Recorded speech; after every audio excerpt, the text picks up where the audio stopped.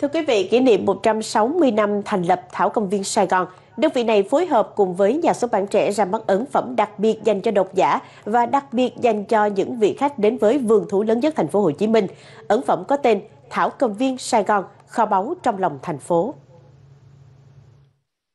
Sách dày 160 trang, in màu khổ lớn. Trong sách tràn ngập thông tin và hình ảnh về hệ động thực vật phong phú tại đây. Đặc biệt là những loài đặc hữu của nước ta đang cần được bảo tồn và phát triển nguồn gen quý hiếm. Qua các trang sách, những thông tin thú vị được lật mở. Người đọc biết được một bầy tan tình con xiết trong ca dao xưa chính là bầy chim trích cổ, hay trong thảo cầm viên Sài Gòn có cây sọ khỉ, là cây mẹ của tất cả các cây sọ khỉ khác được trồng tại Việt Nam có thể xem là một cuốn bách khoa về thảo cầm viên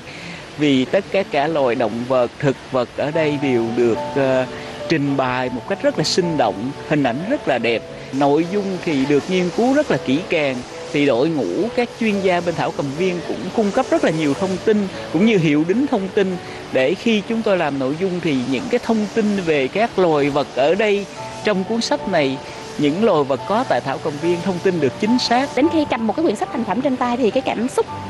và nó là rất là xúc động rất là xúc động. À, nó một quyển sách thì các bạn cũng sẽ thấy à, rất là công phu à, rất là đẹp. À, thứ nhất là đẹp về mặt mỹ thuật và thứ hai á, là một quyển sách mà nó có giá trị về mặt học thuật để làm sao là cái kiến thức mình đưa đến rộng rãi cho người đọc à, nó ở một cái mức để mà có thể người ta tiếp cận một cách dễ dàng nhưng vẫn có đầy đủ những cái kiến thức chuyên sâu đối với lại cái hệ động thực vật đang được bảo tồn và chăm sóc và ở tại thảo cầm viên Sài Gòn. Với Thảo Cầm Viên Sài Gòn, kho báu trong lòng thành phố, mỗi chuyến ghé thăm vườn thú 160 tuổi sẽ trở thành một buổi ngoại khóa vô cùng giá trị dành cho cả trẻ nhỏ lẫn những người lớn yêu mến tìm hiểu về thiên nhiên kỳ thú ngay tại trung tâm thành phố Hồ Chí Minh.